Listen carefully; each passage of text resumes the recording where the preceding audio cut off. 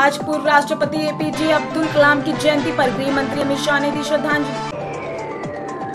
चंपारण के स्वास्थ्य विभाग का हेड क्लर्क ले रहा था पचास हज़ार रूपए की रिश्वत। पुलिस ने किया गिरफ़्तार।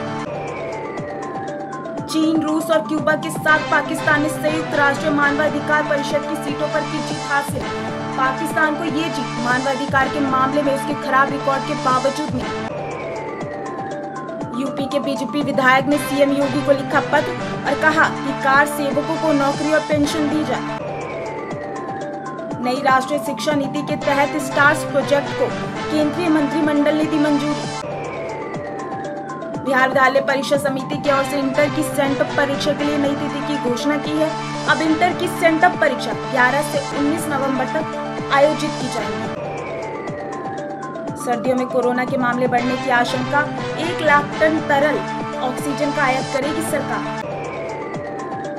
अनलॉक फाइव आज से हो रहा है लागू। कई राज्यों में खुलेंगे सिनेमा हॉल, स्विमिंग पूल और मनोरंजन पार्क। पप्पू यादव बने पीडीए की ओर से मुख्यमंत्री पद के उम्मीदवार। मधेपुरा से लड़ेंगे चुनाव। आज से जो जिला सुरंग का निर्माण कार्य शुरू होगा, नितिन गडकरी करेंगे शिलान्यास।